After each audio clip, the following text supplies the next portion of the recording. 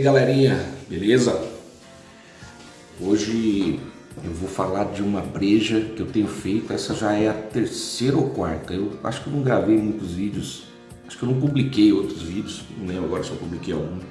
Tudo bonito, e o cabelo tá bonito de novo, ó. Hoje tem que ir lá cortar. Bom, voltando ao tema, é...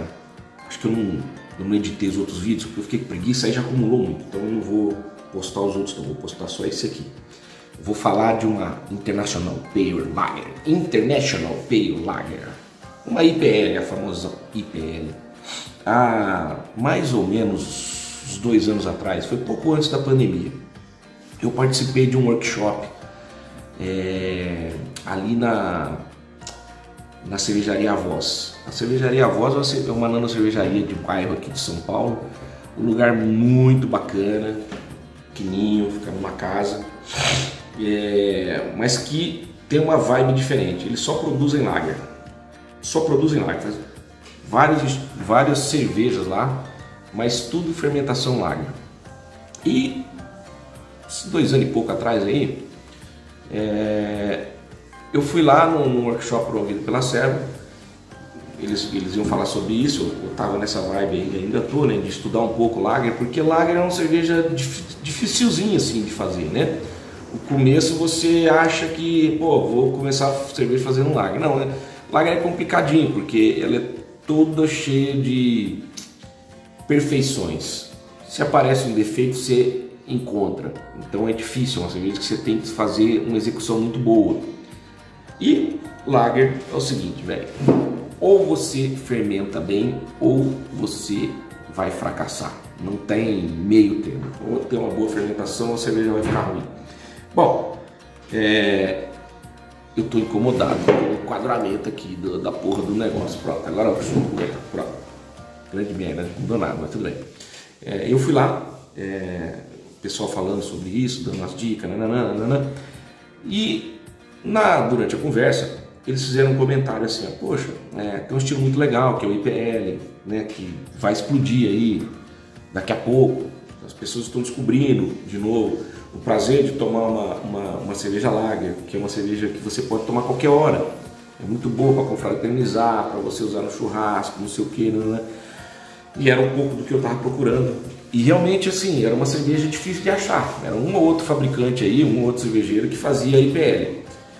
E, cara, aí veio a pandemia, deu uma fodida nos esquemas e tal. Bom, recentemente começou a abrir a economia aí, o pessoal se vacinando, caralho, começou a voltar a vida, não ao normal, né, mas vamos dizer assim, uma tentativa de voltar para o normal, para um novo normal, sei lá, né.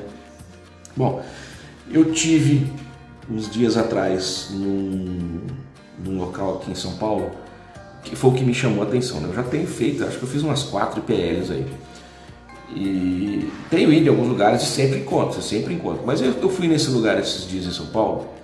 Cara, lá tem 18, acho que 20 torneiras. Das 20 torneiras, tinha 7 torneiras com IPL. Assim, e cara, de umas marcas bacanas, das cervejarias bacanas, tipo Everbril, se eu não me engano era Everbril, a Dogma, é... acho que era Dogma também é, a própria voz, uma local ali que eu não conheço. Tinha sete, eu não vou me lembrar de cabeça, que eu tomei todas as sete, mais algumas lá, então eu não vou lembrar de cabeça. Mas era quase 50% dos TEP ali com IPL. E aí os outros tinham NEIPA, NEIPA, NEIPA, NEIPA, Stout, aí umas, umas inglesas lá. E aí, cara, me chamou a atenção. Falei, porra, meu, é verdade. Agora, é frequente você encontrar IPLs em tap house. E é muito bom, é um estilo muito bacana de beber. Eu adoro assim, a cerveja. Ela não é aquela lagerzinha de guerra, se tomar que nem água. É uma, uma cerveja mais elaborada que foge um pouco do estereótipo dessa, dessa lagerzinha aí comercial. Né? É uma, é uma, é uma, uma, uma lager com, vamos dizer assim, um pouco mais de liberdade criativa, né? E eu tenho feito algumas, eu tenho feito algumas. E eu resolvi fazer uma de Nelson, o Nelson Salvan, que eu comprei numa compra coletiva da, da Acerva aí também. Comprei 500 gramas e aí eu tenho que usar essa porra para alguma coisa. Falei, pô, vou fazer uma IPL com o Nelson, que é essa que a gente vai mostrar no vídeo aqui. Antes de, de falar do, do vídeo em si, da, da, da cerveja, da produção, eu vou voltar ao tema. É, produção de lager está diretamente ligado à qualidade final do produto, está diretamente ligado à fermentação. É, se você não fermentou bem, você se fudeu. E a fermentação é, começa com você fazendo o básico, cara, é calculando o pit rate, né? Não tem como você, é, no estágio atual do, do conhecimento, do, do, do, desenvolvimento cervejeiro que a gente está, ficar falando assim, ó, um pacotinho para 20 litros, não sei o que, não sei o que, cara, hum, essa época já passou. Acho que você que me acompanha aqui no canal você já tem maturidade suficiente para entender que isso não serve mais para você. Você tem que fazer conta, tem que usar uma calculadora e fazer conta. Porque aqui não tem perdão. Na, quando a gente for falar de lager, não tem perdão. Ou você vai fermentar bem ou sua cerveja vai ficar ruim. É, e tem um problema nos dias atuais, né, cara? A levedura tá ao zóio do cu, não é mais nem da cara, é o zóio do toba. Então, cara, se fizer uma cerveja dessa aqui, com Nelson Salvan, levedura, e ela ficar ruim, você joga uma puta grana fora. Então, negão, tem que sentar ali no, na calculadorazinha online aí, que tem diversas grátis. No site da Estilab tem, no Brewers Friends tem. Cara, tem um monte, tipo, tem aplicativo que faz essa conta para você, tem um monte. Então, vai lá, faça os cálculos, você vai saber quanto você precisa.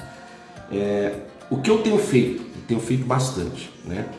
Eu tenho usado, óbvio, não podia ser diferente, meus parceiros da Estilab, os novos frasquinhos aqui com 200 ml, né? Eu tô com duas aqui porque foram as duas que eu usei assim recentemente para fazer isso, a Chess Lager e a German Lager. É... Por quê, né, cara? Porque é o seguinte, cada frasquinho desse aqui é 200 bilhões de células sai do laboratório com 200 bilhões de células. É, custa 13 conto, 13 reais. Vai comprar uma lager aí, saquinho pra você ver. Quanto você vai pagar? Paga 40, 50 pau. Dependendo do lugar, você consegue um pouquinho mais barato. Aqui em São Paulo é 40, dependendo do lugar, 38. Então, assim, um saquinho. Então, esse aqui eu pago 13. Aí, óbvio, é, levedura líquida, extremamente é, é, sensível armazenamento, temperatura e idade. Então, invariavelmente, invariavelmente, mesmo que eu peça lá, porque eu não compro, vocês sabem que eu não compro, os caras são meu parceiro, eles mandam para mim. Eu peço lá para o Calil lá em Franca, ele põe no, correio lá na segunda-feira, chega aqui na quarta, vem na caixinha com isopor, com gelo e tal, quem compra este lado está acostumado a receber. Mas é o seguinte, leva, sei lá, 3, 4 dias, perde viabilidade, não tem jeito, perde viabilidade. Então eu sempre programo de fazer start. Eu vou lá na calculadora, pego a idade aqui do frasco, tem sempre aqui no frasco a idade, né? Pega a calculadora, com um frasquinho desse aqui, ó, quero fazer 40 litros. Vou lá, é o start de 1, 2, 3 step. Para isso, você tem que fazer programado o negócio. Se eu for fazer 20 litros, é, uma OG alta, sei lá, ou se for fazer 30 litros, um frasquinho desse aqui, eu começo, por exemplo, eu vou braçar no, no sábado, eu começo a fazer o start na segunda ou na terça-feira. Sabe por quê? Faz lá um, um, um DME com é, 1036, põe no agitador magnético e deixa. Um dia, um dia e pouco, dois, sei lá, ele consumiu, ele zerou ali né, o, o açúcar desse, desse mosto. Eu ponho na geladeira para decantar, um a dois dias ela decanta, eu jogo fora boa parte daquele líquido, faço um outro DME de 1036, jogo essa laminha lá e reproduzo de novo. Cara, chegou na sexta-feira, o trem trocentos bilhões de células com 13 reais. Entendeu? Vou ter trocentos bilhões. Dá trabalho? Não dá trabalho. É assim, um negócio simples. Você faz um, um, um extratozinho de DME, 1036, não sei quantos litros ali, joga essa porra, põe no agitador magnético. Esquece. Dois dias depois você vai lá, média, atenuou, atenuou. Põe para decantar, põe na geladeira para decantar. Decantou, joga aquele líquido fora, fica com aquele tantão assim de lama, um pouquinho do líquido ali, completa aquilo com DME até chegar no 1,36 de novo, né? faz uma outra solução até chegar no 1,36, toca para rodar de novo. Negão, você vai ter célula pra caralho com 13 reais. Entendeu? 13 reais. Aí eu faço a breja. Quando você põe ela para fermentar, ela de novo ela, ela aumenta o número de células no início da fermentação, na fase lag ali, ela vai, ela vai aumentar aquele. Ela vai se preparar e depois na, na fase exponencial ela explode o número de células. Você, quando terminar a fermentação, você decantar, você começa a, a preservar a lama. Eu nem faço mais isso.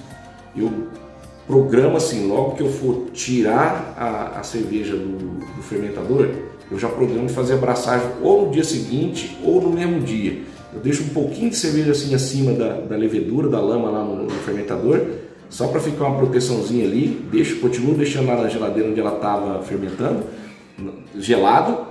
Cara, no outro dia eu faço a cerveja, tiro essa, essa, essa, essa, esse fermentador de lá, jogo fora esse restinho de cerveja, meto o outro mosto por cima e toco o pau. Então eu tenho feito assim, ó, com 13 contas, vai vamos, vai, vamos falar um pouquinho mais, 15, 16, sei lá, porque você vai gastar com DME. Eu tenho feito com esse valor 15, 20 conto, vamos exagerar, 20 conto, eu faço 60, 70 litros de lager. Entendeu? Você aproveita uma vez, se você for mais ousado e cuidadoso, você aproveita até duas vezes. Eu faço só até duas, assim, eu não reaproveito três vezes não. Eu faço só, só até duas. Então, mas por quê, velho? Eu tô comprando lá na Estilab, eu tô recebendo na Estilab, 13 conto e me dou o trabalho de fazer o starter. Ah, pô, não sei o que. Starter é o seguinte, velho. Tu pega lá o Elemeyer, é, não tem jeito. Assim, cara, você vai gastar um pouquinho para montar um, uma, estruturazinha básica dessa daí, mas depois é pro resto da vida. Compra um Elemeierzinho aí de 2 litros. Se você puder, compra um de 5, que já aí você já vai arregaçar mesmo. Se você não tiver grana para fazer, para comprar um agitador magnético, monta um. Tem no YouTube um monte de tutorial usando imã e, e, e coolerzinho de ventilador, cara. Você não gasta 20, 30 conto para montar um cooler. É um agitador magnético homemade aí, simprão, mas que cumpre os objetivos. Starter é isso aí, não tem jeito. Não vem com esse negócio de, ó, põe lá no LMR, deixa o, o a levedura ali sem agitar. Não, é, é starter sem agitação magnética não funciona. Não funciona, não, você não vai ter o número de células é, necessário do que você precisa, é só você pegar na calculadora e simular. As calculadoras têm lá, com agitação, sem agitação, você vê o número de células que dá. Então assim, mete o, faz esse procedimento que eu estou te falando, os mais ousados, tem uma bombinha com oxigênio que fica ali aerando uh, o, o, volume ali do, do NMR enquanto está fazendo a agitação. Esse é o melhor método possível. Eu não consegui fazer isso ainda direito porque minhas bombinhas que eu arrumei nunca conseguem empurrar. Mas é assim, é o melhor método que, que, que, que existe para você é, fazer um starter campeão. É, bombinha, pedrinha difusora, um, um OG aí no máximo 1036 e deixa ali, 24 horas, você vai ver o tanto de célula que você tem. E aí, fião, com 13 conto. Gasta mais um pouquinho aí com o DME, vai 15 conto, você vai fazer cerveja aí pra caralho, lager, gastando nada. Então é isso que eu tenho feito. Pego a levedura, é, faço o starter, começo na segunda, terça-feira, para eu abraçar no sábado. Depois que eu tiro a cerveja, eu já faço outro jogo por cima. Então, nem, nem retiro lama, porra nenhuma. Faz a cerveja e joga por cima da outra. Essa cerveja que nós vamos mostrar aqui foi exatamente esse, esse mesmo procedimento. Eu fiz umas Viena, aí eu tirei a Viena, deixei a lama lá, né? E aí eu peguei, fiz essa, essa, essa IPL e joguei por cima.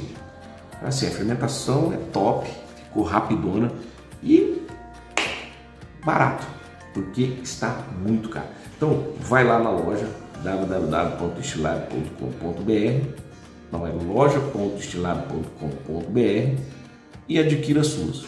13 pontos cada uma, você vai, você vai economizar muito dinheiro fazendo lager com essas leveduras. Tem eu também no mesmo preço, tá? Como eu tô falando de lager aqui, porque lager hoje está o, o zóio da cara. Beleza? Então, vocês ficam agora aí com o vídeo e depois a gente fala sobre a breja.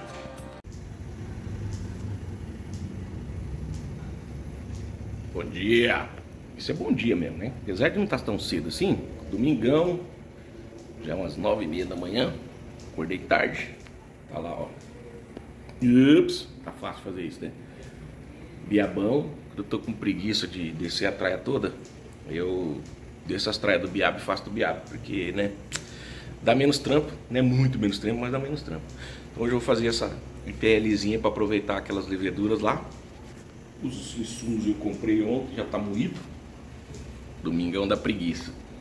Já corrigi a água, já coloquei ali para esquentar. Tô tomando meu breakfast aqui, ó. Cafezinho expresso, pãozinho de queijo. Daqui a pouco eu vou lá jogar os grãos.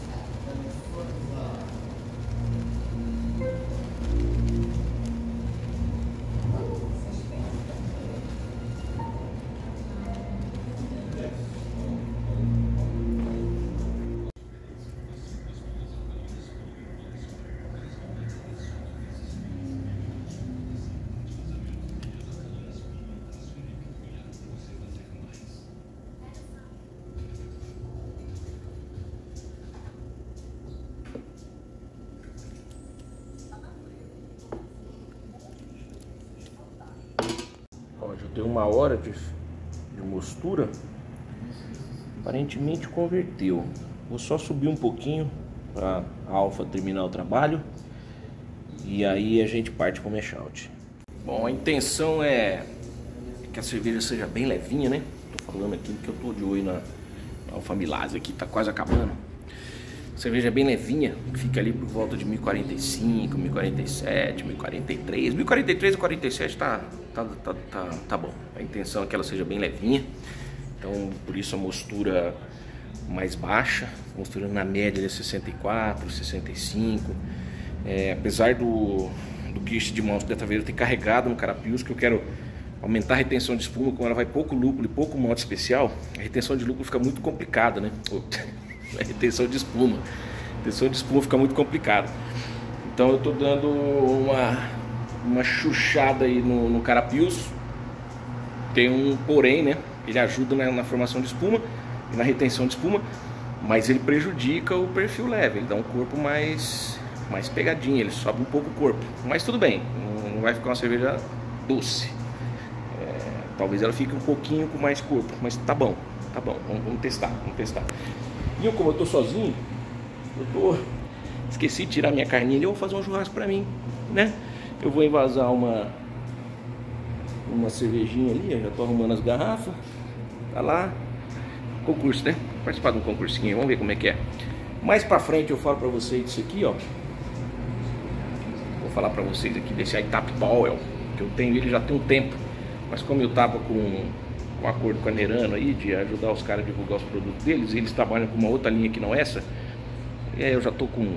Já passei da hora de, de mudar aqui o, os combinados.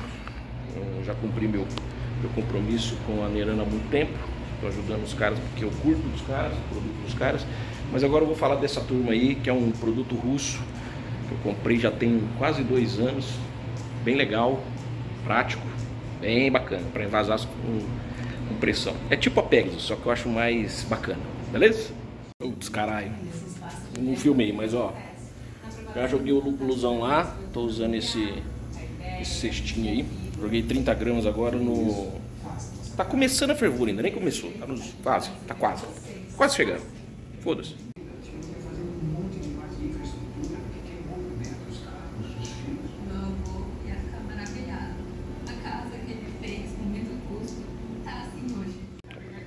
Fervura tá indo de vento em popa.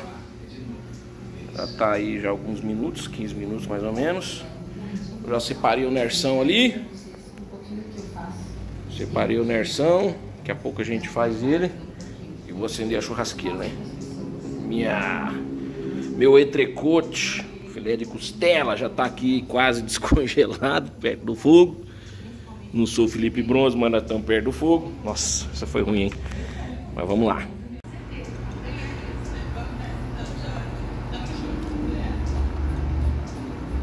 Aí, ó. 10 minutinhos, oh, 5 minutinhos pro final. 10 gramas do Nelson, que tem um cheiro sensacional. Vou deixar a bichinha aí. Aí no zero a gente vai jogar mais 20. Beleza? Aí, ó. 0 minutos. Vou jogar os, os Nelson. E vou fazer o Whirlpool. Vou tentar fazer o Whirlpool agora aí, né? Porque fazer o Whirlpool com essa porra aqui. Vai ser foda. Deixa eu ver como é que eu faço aqui, gente. Fiz um Whirlpoolzão raiz aí com colher. Agora eu vou lavar e vou deixar aí um tempão. Tá com 30 graus, quase 30 graus. Eu vou deixar um tempão aí descansando, não tô com pressa. E vou comer a minha carninha ali, né, nego? Oi. Olha, tô aqui trasfegando. Olha, ficou limpinho. Não parece, mas ficou, né? Mas tem lucro pra caralho lá embaixo, apesar de ter usado essa coisa aqui. Já peguei a bombona lá em cima. Joguei 4 litros de Viena que tava aqui dentro. Cara, fui extraindo devagarzinho. Tinha 4 litros de Viena ainda. Peguei só o fundinho lá do fermentador. Coloquei um pouco de cerveja, dei uma agitada. E aí tô transferindo. Torcer para que as paredes do fermentador, que fica aquelas cracas ali em cima, não estejam contaminadas para não cagar minha breja agora, né? Vamos torcer. Seja o que Deus quiser. Mano, vou falar pra você, hein? Hora que acaba, dá uma canseira, velho. Mesmo sendo viado, você limpar tudo, lavar, subir castraia lá pra cima, porque aqui eu tenho medícula, né, velho? Vou tomar uma, né? Eu tô com 50 litros de Viena aí, vou tomar essa Bex aqui, porque é da minha mulher. Só pra ficar puto comigo. Ela veio me ajudar. Também nem tá aqui hoje.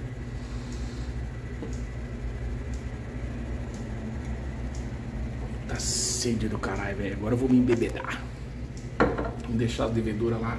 Tomara que a lama agora faça o trabalho dela. Tava 27 graus, aí eu já mandei baixar para 18. A hora que chegar no 18, eu deixo para 13. Talvez eu fique nos 13. Vamos ver. Agora ainda são 5 horas da tarde. Eu coloquei às 4 mais ou menos. Talvez umas 8 horas da noite já tá já tá na temperatura boa para eu baixar de novo. Beleza? Vamos deixar daqui uns dias a gente volta a se falar. Ó, bonitão, hein? Bom, 19h40. Terminei de tomar minha brejinha ali. Tô quase louco. Falei, vou subir lá pra ver como é que tá. Daí a gente abaixa mais for o caso. Então tá aqui, ó. 19 graus. Dá uma olhada. Lá, criança. Olha como é que tá isso aí. Já tá nervoso e com força. Eu já setei aqui pra 13. E aí, tomar um banhozão agora e esquecer. Deixar a geladeira fazer o trabalho dela, porque as leveduras estão fazendo, né? Bom, a lamazinha é bruta, hein?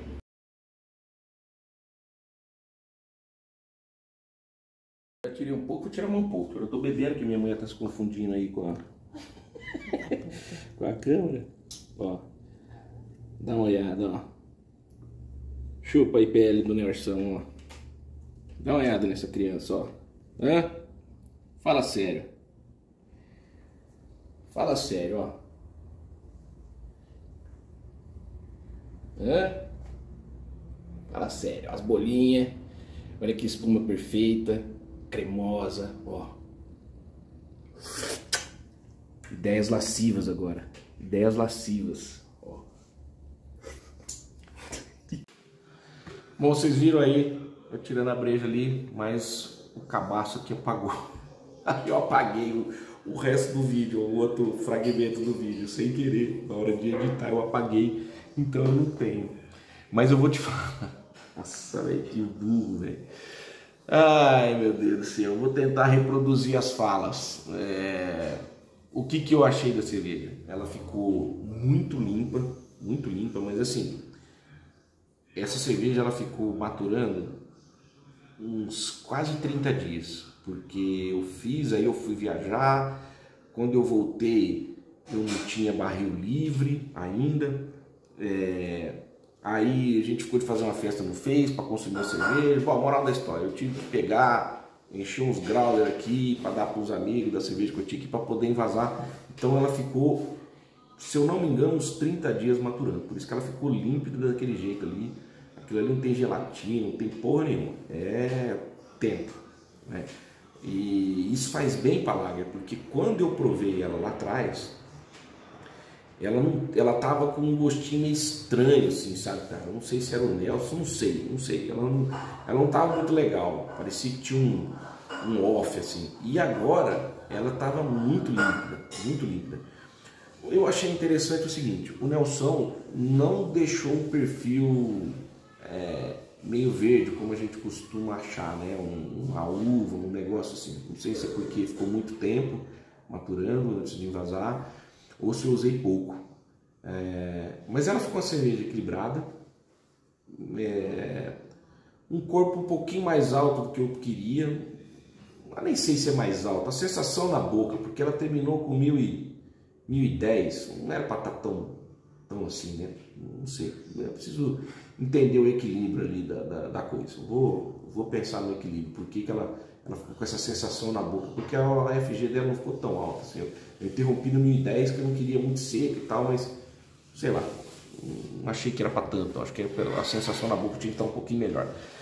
É, mas assim, eu gostei do resultado, eu vou mexer um pouquinho na água, nos ajustes do, do, do sais, eu vou dar um pouquinho mais de sulfato da próxima vez, puxar um pouquinho mais de sulfato e talvez um pouquinho mais de aroma do Nelson, que eu vou repetir essa receita, achei que ficou bem bacana. É, bom, é isso aí, não tem muito o que falar para vocês, a não ser para vocês cuidarem muito da fermentação e não joguem dinheiro fora. Vai lá, ó, loja.lab.com.br e escolha a melhor levedura lager que você é, entender adequada para o seu estilo. Deve ter umas 10 lá da lá. Umas atenuam mais, outras atenuam menos. Essa daqui da César que ela tem um, um, perfil um pouquinho mais frutado. Essa aqui puxa mais para os estilos é, alemães. Aí tem a American Lager que é a YLB 2000 que eu acho fantástica para fazer cervejas de guerra, cervejinha simples. Talvez seja uma boa eu usar nessa daqui, que eu usei essa Jack Lager. Talvez eu use a 2000 na próxima IPL que eu vou fazer, para mudar um pouco o perfil da levedura. Beleza, irmãos? Obrigado. Fiquem com Deus aí e bora tomar cerveja. Segue nós no Instagram lá.